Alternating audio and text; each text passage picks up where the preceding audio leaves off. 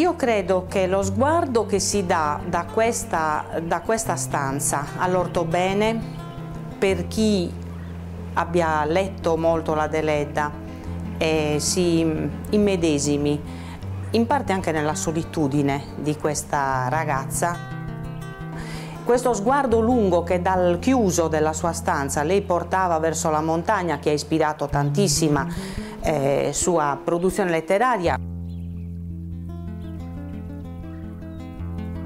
Questa casa Mosè è stupenda, non, eh, non cessa mai di, di sorprendermi, tale la bellezza, il concentrato dell'anima e dello spirito dell'Idiano che è un museo straordinario e tale rimane.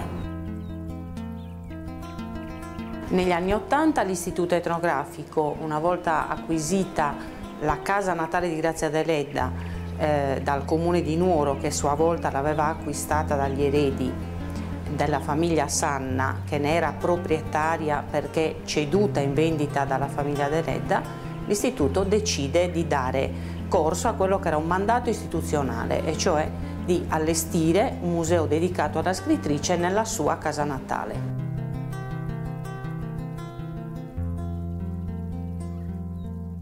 Grazia Deledda nasce a Nuoro il 28 settembre 1871 in una famiglia benestante. È la quinta dei sette figli avuti da Giovanni Antonio e Francesca Cambosu.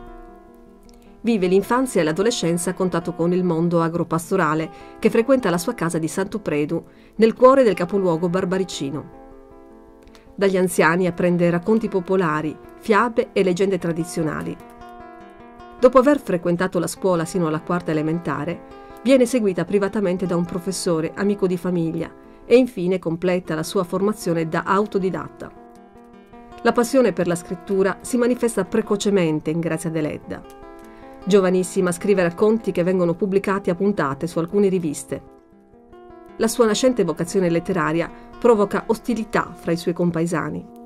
Nonostante il soffocante pregiudizio verso una donna che si dedica all'arte, incoraggiata dal successo di critica e di pubblico, prosegue la sua attività di scrittrice. In questo mondo, come abbiamo detto, così chiuso, chiuso, chiuso, delimitato da montagne, profondamente maschilista. La donna, lei lo dice chiaramente, era costretta a stare a casa, quando usciva doveva essere accompagnata, durante i periodi tremendi del lutto poteva stare, questo lutto poteva durare anche cinque anni, e lei che cosa aveva? Non aveva altra soluzione se non contemplare questo magnifico paesaggio che aveva tutto intorno, che era un paesaggio di montagne, di alberi secolari.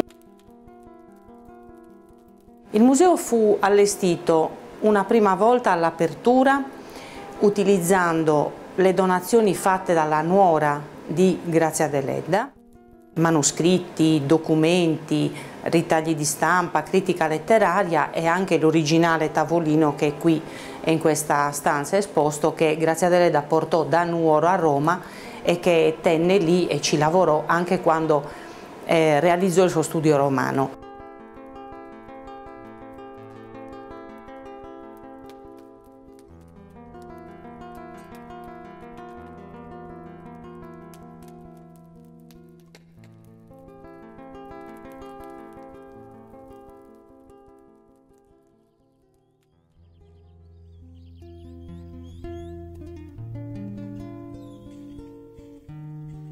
La cucina è un altro luogo importante nella scrittura e come presenza, che è un ambiente in cui è interno alla casa ma anche esterno perché c'è una porta con corre, col, col, cortile triangolare non regolare da cui entravano tutti quei visitatori, non entravano dalla porta centrale della casa ma entravano dalla porta laterale dove potevano appunto accedere con il cavallo fermare il cavallo, scaricare le bisacce ricche di prodotti che venivano dalla terra e dalle terre in particolare appartenute alla Deledda.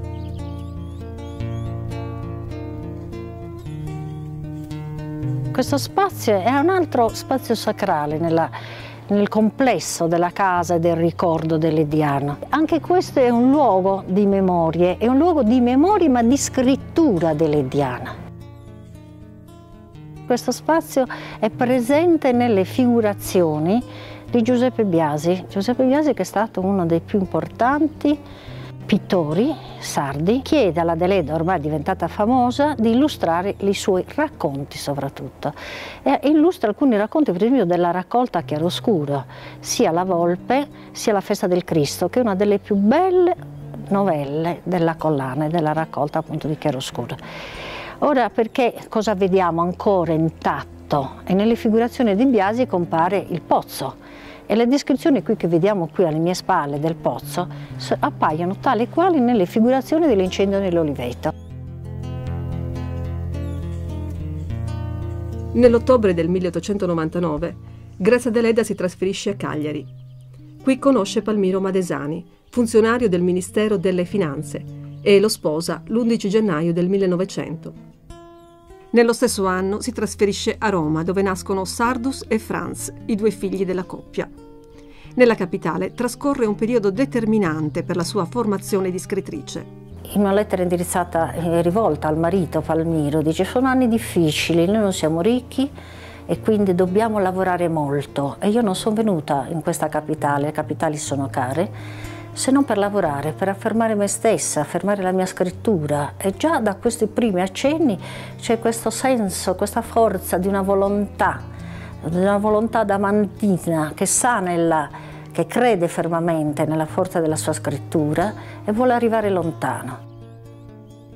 Molte storie, per esempio, raccontano che lei, stando a Roma, non, non, non frequenta i mercati del suo quartiere. L'ultima abitazione, abbiamo detto, è via di Porto Maurizio, cioè il quartiere Italia. E la vedevano passare, la vedevano andare a fare la spesa e lei aveva anche una domestica, non sapeva cucinare, però preparava, nonostante tutto, preparava la cena per i familiari e questo lo sappiamo anche da un racconto di un cronista del tempo che andando a intervistarla, anzi dandogli la notizia del ricevimento del Nobel, la trova a tavola col marito e con i figli e la cena l'aveva preparata lei. Quindi trova, vede un aspetto di una Deleda quotidiana che molti definivano massaia. E lei, e lei rispondeva sì, sono una massaia, però una massaia che scrive, perché la scrittura è fondamentale nella mia vita, era proprio, come ho detto prima, un dovere morale. Questo è Anzio, sempre del 1908, la Deledda madre affettuosa e nel contempo anche di, um, severa. Come puniva i figli, per esempio? C'è una notazione bella, come li puniva? Li toglieva il dialogo, come facevano le donne sarde. Se i figli cadevano in errore non è che li, li metteva in castigo, no, non ci parlava. Li lasciava senza comunicazione con la madre. E molte donne in Barbagia fanno questo. Quindi lei porta in Roma tutte quelle che sono le abitudini della donna barbaricina della donna indubbiamente chiusa in se stessa senz'altro, introversa senz'altro, però anche estremamente generosa e aperta agli altri.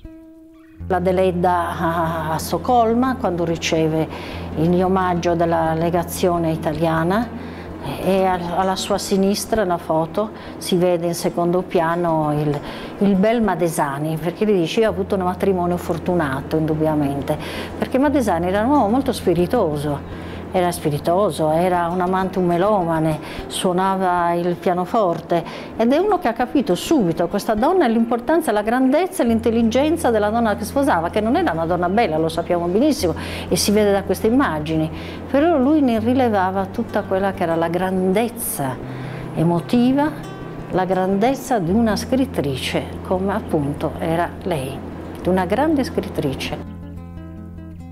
Accolta con favore dalla critica, Grazia Deledda si dedica con passione al suo lavoro. Pubblica decine di romanzi che vengono tradotti anche all'estero. Tra i suoi estimatori lo scrittore russo Maxim Gorky, l'inglese David Herbert Lawrence e il poeta Giuseppe Ungaretti. Ungaretti, quando nel, dopo l'incontro con la Deledda a Cervia, viene a visitare Nuoro e dice io sto facendo un giro di Lediano e ogni pietra di questo luogo grida la presenza, urla, dice, la presenza della poesia della Deledda. È un'immagine bellissima, poche frasi, ma sono frasi che, che, sintetizzano quello che è il mondo enorme poetico di questa donna, che ha fatto urlare di poesia questa terra, in particolare questo luogo e questa casa.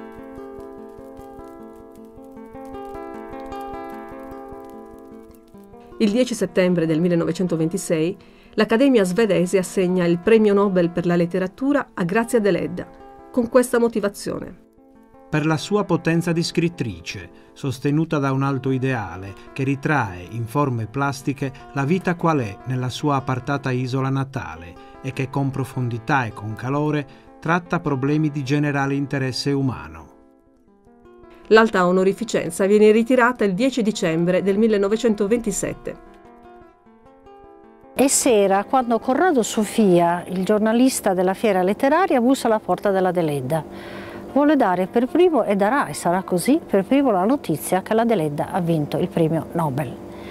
È un momento di sospensione nella, nella casa della Deledda che si stava prestando a cenare e lui dice, ma tante volte il marito commenta, abbiamo pensato che questo premio arrivasse alla Deledda, speriamo che questo sia reale. Dice, sì, è reale perché ho ricevuto un, dalla, dall'agenzia Stefani la notizia del conferimento. E la Deledda sorride con gli occhi al marito, ma non fanno grandi commenti. Sono contenti perché si vede che sono contenti.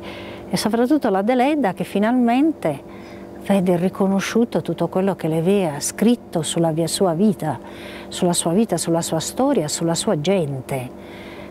E dice al giornalista, vede, il popolo mi ama, guardi quel mazzo di fiori che c'è sul mio tavolo dello studio, me l'ha portato stamattina una donna del popolo di Nuoro, il popolo mi ama, i borghesi no, perché i borghesi mi accusano di aver riempito i miei romanzi di storie di banditi, di sangue, di lotte fratricide, di aver cioè disonorato il mio paese. Ma io con la scrittura non ho disonorato il mio paese, l'ho reso immortale.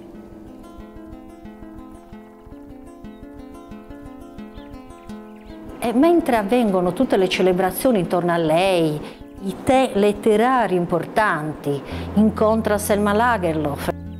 Si guardano, si scrutano, la Selma arriva tutta ingioiellata, addirittura si mette al collo la medaglia del Nobel che era piuttosto voluminosa, ingombrante.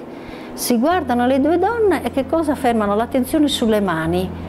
E una dice all'altra che belle mani che ha e l'altra risposta anche lei. Si trovano quindi accomunate da questo elemento, la mano, la mano come strumento di scrittura di entrambe ed è bellissimo. E questo ricordo appunto è un ricordo scritto dalla Delede pubblicato sul Corriere della Sera.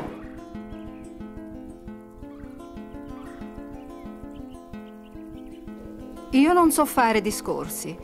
Mi contenterò di ringraziare l'Accademia svedese per l'altissimo onore che nel mio modesto nome ha concesso all'Italia e di ripetere l'augurio che i vecchi pastori di Sardegna rivolgevano ai loro amici e parenti nelle occasioni solenni. Salute.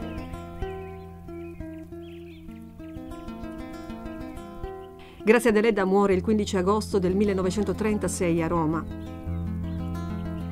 Dagli anni 70 le spoglie della scrittrice sono custodite nella chiesetta nuorese della Solitudine ai piedi del suo amato Monte Ortobene.